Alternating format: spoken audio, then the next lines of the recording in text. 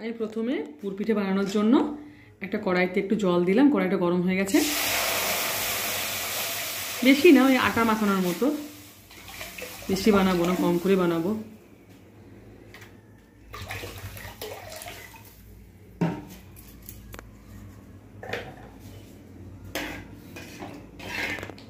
আমি এক চিমটি নুন দিলাম।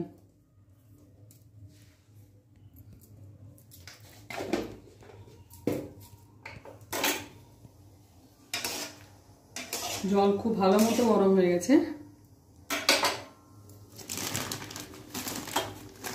জলে আমি দিলাম গণেশ ব্র্যান্ডে চালের গুঁড়ো।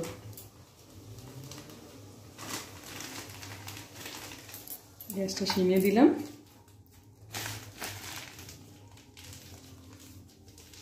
আমি বেশি বানাবো না, কম করে বানাবো।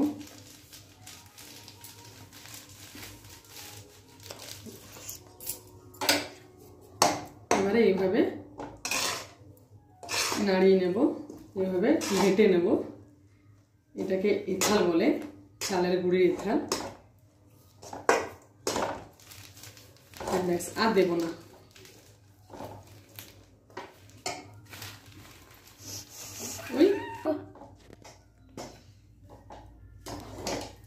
আমি একটু কম এক কিলো দিলাম চালের গুঁড়ো। এই চালের গুঁড়িটা আমি বেলপাহাড়িতে কিনেছিলাম। আমরা বেলপাহাড়ি ঘুরতে গেছিলাম। আমি, রাজা সুরজিৎ দিদি, বাবু। এত সুন্দর চালের গুঁড়োটা। চালের গুঁড়িটা খুব সুন্দর।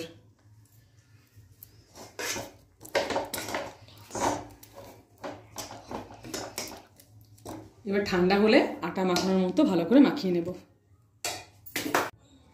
খুব ভালোভাবে ঠান্ডা হয়ে গেছে। আর একটু একটু গরম না থাকলে না দলা দলা পেকে যায়। মানে দানা দানা হয়ে যায়। ওই জন্য একটু হাত ছোঁয়া হাত ছোঁয়া ইসতুষ্ণ গরম আছে আর কি। এর মধ্যে আমি আস্তে আস্তে করে ভালোভাবে থেসে থেসে মেখে নেব। চালের গুঁড়োটা এত সুন্দর না? কি সুন্দর সে পায়েস করলে যেরকম গন্ধ ছাড়ে না, ওরকম গন্ধ ছাড়ছে কাকিমাটা বলল যে, মতিবাস চাল। দশ মিনিট ধরে থালার মধ্যে আমি এথালটা আটা মাখানোর মতো করে রেডি করলাম। এইভাবে আপনারা যত থাসবেন, তত পিঠে নরম হবে আর সুন্দর হবে। দেখুন কত নরম হয়েছে। চলুন এই পিঠে বানাই। সমুদ্র দোকান থেকে কিনে এনেছি সোমনাথ মিষ্টান্ন ভান্ডার থেকে। আর এই নারকেল পুরটা বাড়িতে বানালাম।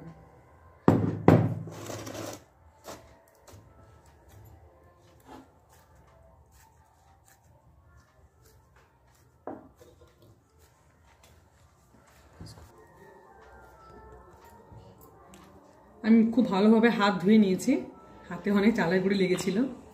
দিয়ে যে এগুলো সব রেডি করে নিয়েছি।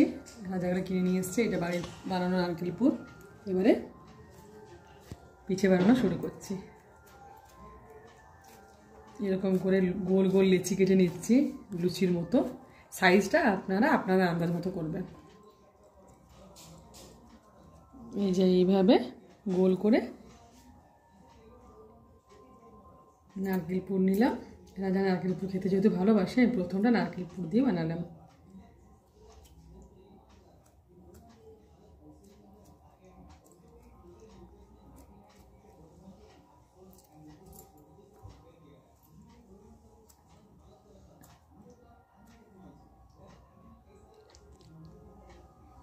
একটা পিঠে বানানো রেডি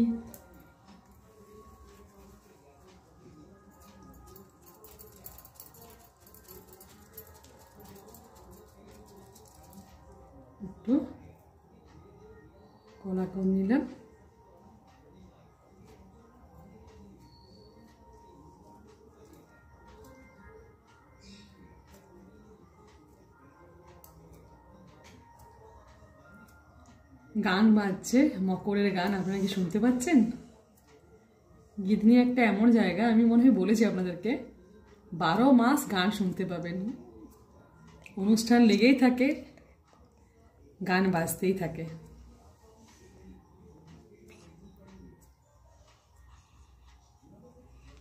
দুটো।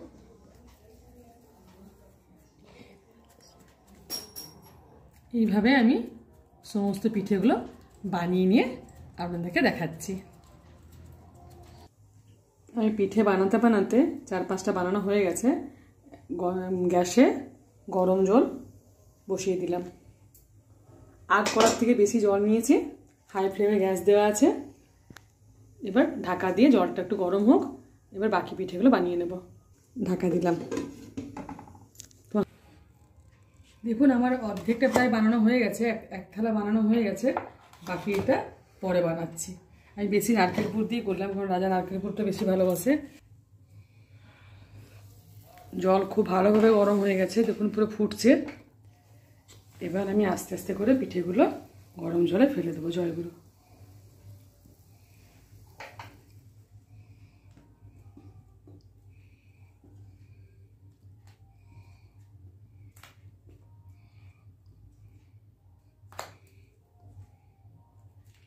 আর বাপের বাড়িতে ঝুলি বেঁধে করে। টিনের হাঁড়িতে সাদা ধুতি, পরিষ্কার কাপড় নিয়ে গরম জল এক হাঁড়ি দিয়ে ঝুলি বেঁধে তারপর পিঠেটা হয়ে গেলে ঠান্ডা জলে ধুয়ে নেয় পিঠেটা নিয়েও আমি বলে দিচ্ছি, এখন তো নিচে আছে। পিঠেটা হয়েছে আপনি কী করে বুঝতে পারবেন? দেখবেন হয়ে গেলে পিঠেগুলো উপরে ভেসে উঠবে। এখন হয়ে গেলে পিঠেটা উপরে ভেসে যাবে। ব্যাস। এবার আবার বানাতে যাই, ঢাকা দিলাম। আমি এর আগেও দুবার তিনবার ঢাকা খুলে দেখলাম। সুন্দর ফুটছে দেখুন। পিঠের কালার কত চেঞ্জ হয়েছে বুঝতে পারছেন? সেদ্ধও খুব ভালো হয়ে গেছে। দেখুন, ফেটে গেছে। সেদ্ধও খুব ভালোভাবে হয়ে গেছে। আর একটু হোক আর একবার ঢাকা দিলাম। খুব ভালোভাবে ফুটে গেছে। খুব সুন্দর সেদ্ধ হয়ে গেছে।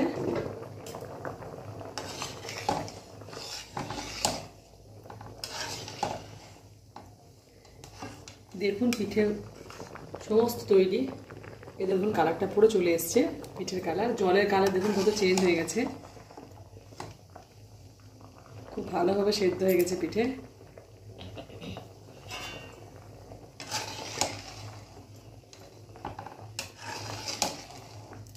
এবার তুলে নিলাম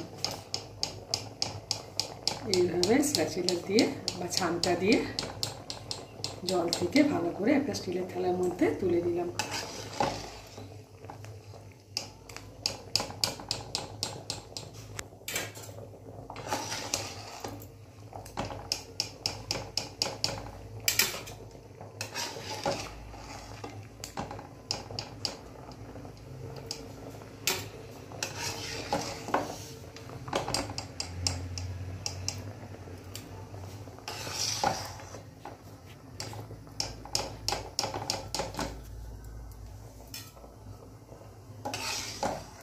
গতবারে আমার ভাসুর, সুরজিৎ, আর আমার বঞ্জি বাবু, ওরা পিঠে টেস্ট করেছিল।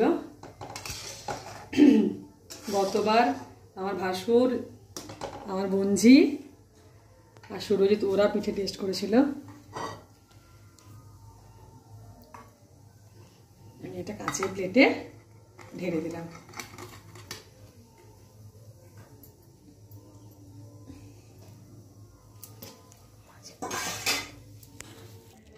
আমার আরও এক থালা বানানো হয়ে গেছে।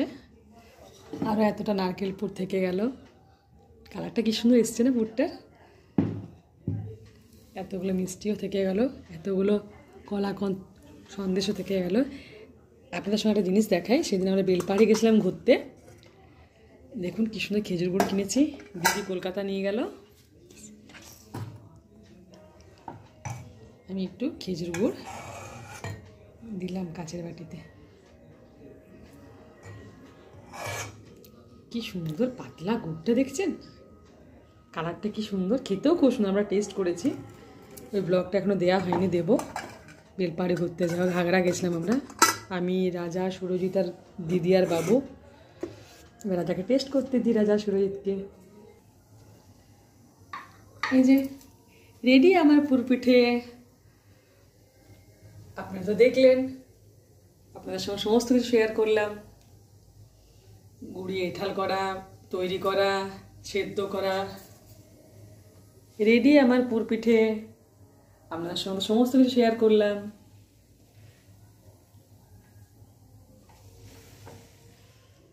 থ্যাংক ইউ পিঠা টেস্ট করো। এতগুলো দিয়েছ গো। দেখে তো অপূর্ব লাগছে। বেলপাহাড়ি খেজুর গুড়।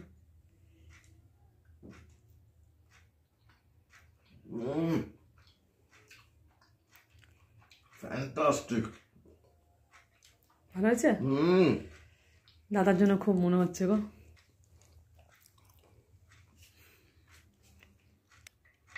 অপূর্ব হয়েছে। সত্যি সুন্দর হয়েছে। গতবার সুরজিৎ বাবু জিজু টেস্ট করেছিল। আমি খাব? খাও। সবাইকে শুভ মকর বলো মকর সংক্রান্তি। সবাইকে হ্যাপি মকর পিঠে নিয়ে হ্যাপি মকর। পিঠে সেদ্ধ পিঠে আর গুড় খেজুর গুড়। বেলপাহাড়ি খেজুর গুড়। ফেভারিট আজকে দাদা বৌদিমণি আর আমার ভাইজিটার জন্য বড় মনটা খারাপ। ওরা ওরা আজকেই গেল না কলকাতা? আর দিদিও আমার বানানো ফুল পিঠা খেতে খুব ভালোবাসে। সবাইকে শুভ মকর সংক্রান্তি আগামীকাল মকর সংক্রান্তি। আমি হয়তো ব্লগটা আগামীকালই দেব। Thank you